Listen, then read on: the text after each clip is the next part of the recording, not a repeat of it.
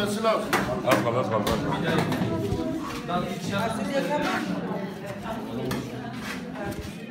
Altı yüz kişilik yemek var.